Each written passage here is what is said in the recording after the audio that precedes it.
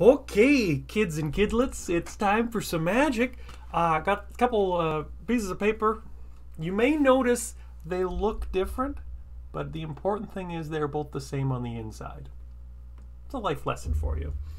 The, the green one can actually fit inside of the purple one, and it just tucks in so you know, it doesn't quite poke out the other side. But uh, if I get my magic wand, I can wave my magic wand with the word abracadabra.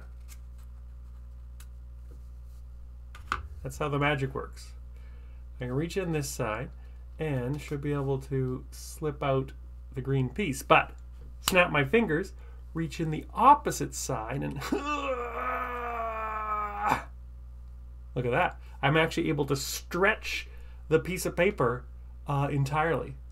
Better than that, it vanishes in the middle. It disappears. Into wow, this is good stuff. okay, one last uh, thing to try. Put that one back in. Put that one uh, back in, and snap my fingers for realsies. Look at this. We have a completely solid green piece of paper and not quite as solid as when it started uh, purple piece of paper. But the important thing is uh, you can take this home, uh, keep it. It's my gift to you.